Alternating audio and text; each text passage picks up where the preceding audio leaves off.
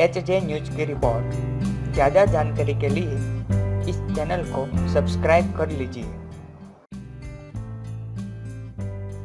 साफ़ सफ़ाई रखना कितना ज़रूरी होता है?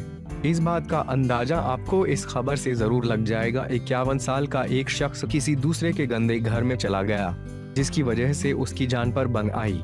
इस शख्स का नाम ट्रेली रंबल है। एक दिन अचानक उसे उल्टियाँ होने लगी।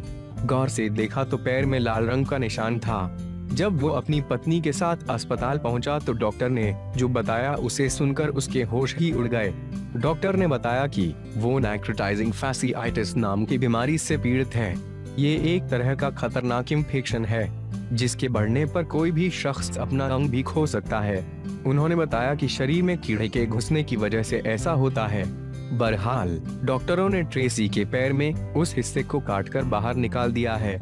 इस ऑपरेशन के बाद उन्हें कई दिनों तक अस्पताल में रहना पड़ा और अब उनके पैर में उस जगह छेद हो गया है।